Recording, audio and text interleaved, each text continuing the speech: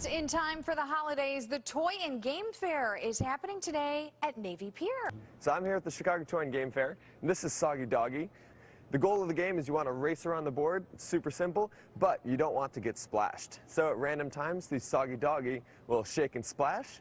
And uh, when that happens, when that happens, you got to go back to start. these other places.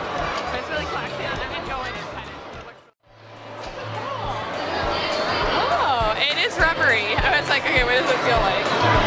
Oh, that's cool. It's like little rubber must have taken seriously like forever to.